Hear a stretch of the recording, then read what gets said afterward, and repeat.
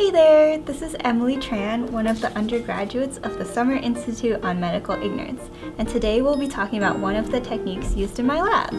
Now, when people think of research, they normally think of beakers, test tubes, and lab rats. But research is not limited to what goes inside a climate-controlled room full of hoods and freezers. So, in what other ways is research performed?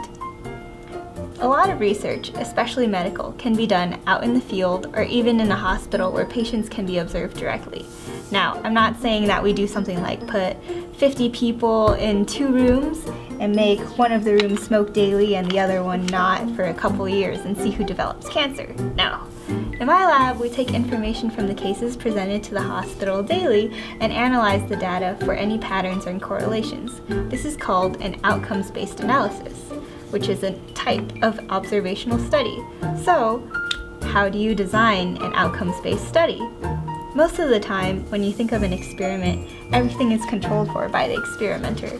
Like, all these rats are genetically the same and grow up in the same environment, so I know that any differences between them will be due to the drugs that I give them. But we can't do that with patients because people are so different from each other. They come in different shapes and sizes and ages and ethnicities and the list goes on and on. But people aren't so different that we can't find any similarities between them. This is why we can do propensity score matching. So, what is propensity score matching and how does it work? First, you take a database, like the National Trauma Database or the National Cancer Database and then you request all of the data about the treatment or operation procedure that you're interested in. So using the example from earlier, let's look at people who smoked and those who didn't and see who develops cancer. So now you have to pair up as many people in your study as possible based on some criteria called confounds. These are things that could possibly have an effect on your results, like age, gender, race, BMI, and anything else you can think of that could have an effect on your results. So using our lung cancer example, we might also want to match people who live in urban and polluted areas with others who live in similar areas. So by doing this, you increase the conditional probability, or in other words, the propensity score. That means that between two people, you make sure that both of them have an equal chance of getting either treatment. It's as if you randomly gave one patient treatment A and another patient treatment B. This is called pseudo-randomization because you're not really randomly assigning treatments, but the patients you're looking at both have an equal chance of getting each treatment. So, once you have some people in your study who are matched up in everything except the treatment, you can focus on them and compare the effects of the treatment. We can see that these guys here are exactly the same, except this guy smokes and this guy doesn't.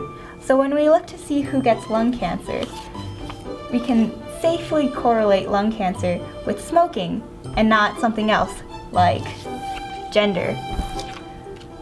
Otherwise, it would look something like this.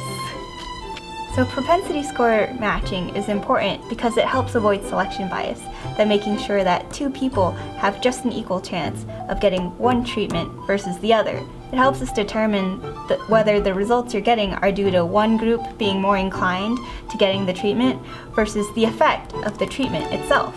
It's a great technique to use when analyzing events that have already happened, so you have no control over them, like patient visits at a hospital. There are some limitations with propensity score matching, however. For one, the more confounds you try to match for, the harder it is it will be to find people who match on all of your criteria. Also, there might be some confounds that can't be matched for and might have an effect on your results. So, what other methods can we use to design an outcomes-based study? This will be have to this will have to be answered next time. Special thanks to Dr. Joseph Bellal for welcoming me into his lab and providing me with a ton of amazing resources. And thanks to the International Fellows for helping me on my project this summer and teaching me some statistics.